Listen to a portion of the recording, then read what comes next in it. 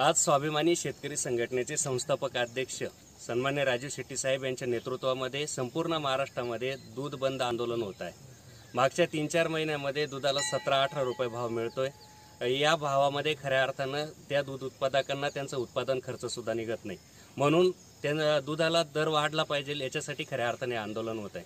मागच्या महिन्यामध्ये केंद्र शासनानं दहा हजार टन दूध पावडर आयात करून दूध उत्पादकांच्या जखमेवरती मीठ चोळण्याचं काम केलं. म्हणून हे- हा आयातीचा जो निर्णय तो रद्द करावा.